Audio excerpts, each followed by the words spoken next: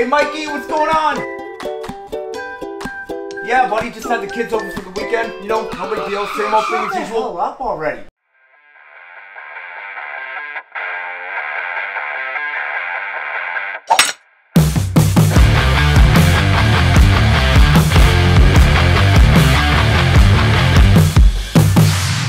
Seriously, why do people think that other people want to hear their conversation in public? Why do they feel the need to talk loud enough so that everybody else can hear? It's like, dude, no, nobody cares. And it's usually at the cash register. Like going through checkout with my kid isn't stressful enough having to tell him 50 million times, no, you can't have the damn chocolate bar. No, no, no, put it back, put it back. And then the chick behind the cash register looks at me like I'm the bad guy. Like you put it there. You put it right at his eye level because you knew that's exactly what he would go for. You created the situation and you want to look at me like I'm the bad guy? All right, that got a little personal there. Let's uh, let's reel it back in.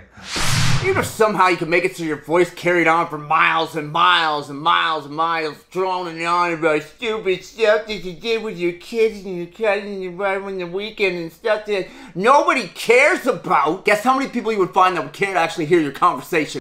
Ding, ding, ding, ding, ding, ding, ding. Like honestly, just once, I just like to join the conversation when that happens. Just for shits and giggles, just to see their reaction. Like, I'm sorry, did you not want me to join the conversation? Could have fooled me.